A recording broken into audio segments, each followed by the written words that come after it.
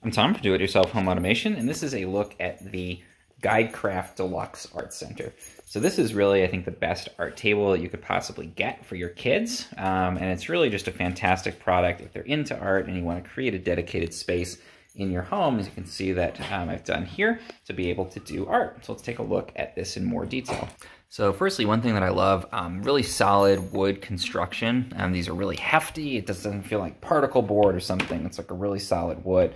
And that's important, especially if you have a toddler, you know, working on this, leaning on it.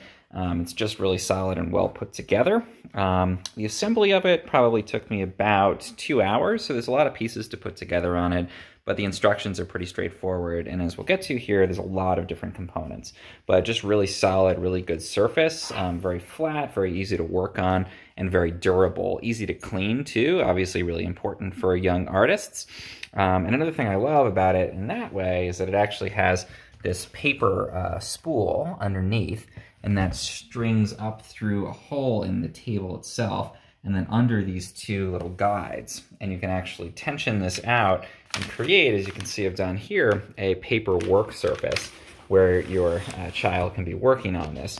And then when they're done with their project, instead of having to clean this whole big surface, you actually just pull the paper out from the side here um, and then just tear it off and pull out a new piece of paper from that spool and just cover it across the table and you have another surface that they can work on. Again, you can see you get paint, you get glitter, you get all that kind of stuff and you can actually pull this to be totally tight as well so that they are able to work on this really nice um, flat surface, but then you can take that paper off when they're done and uh, cleanup is super easy in that way. Again, just really thoughtful, well-designed features.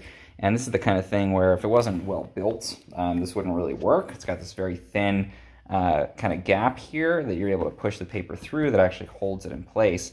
And um, because it is really well designed and really solid, the paper slides underneath, it gets locked in place, and you can create that flat, uh, removable work surface. Um, another thing I like, it comes with two chairs, so you can actually have the kid on either side of the table if you want to. Another chair over here, or if you don't mind sitting on a small chair, you can sit there and help them across the table. So it creates this really nice big work surface. And um, again, you can have two kids work on it at the same time, or you know, one kid can stand and the other can sit, if that's how you want to do it. Um, let's take a look at the storage on here. So coming around to the other side of the table, this is, I think, the best feature, one of the best features, and that's that um, it has this great storage setup. So these white bins um, are these storage bins that come with it, and they fit perfectly on these little shelves, and you can see there's multiple shelves going all the way down. So normally an art table gets so cluttered, you have your crayons and your Play-Doh and everything, um, obviously, these uh, I should mention these art supplies don't come with the table. Um, you get these bins, but you have to fill it with your own supplies. So you can have on the top these nice little areas for things like paintbrushes. It's even got a, if you want to use this, it's got a little area you can store paintbrushes upright um, in these little holes here. And uh, lots of great little compartments. And then again, these multiple shelves where you've got um, these slide out storage units that you can access on the side here. So all of that clutter that's probably out on your counter, if you have a traditional art table, all just becomes contained here and it's so easy to just pull these out, select materials, and then start uh, doing a project.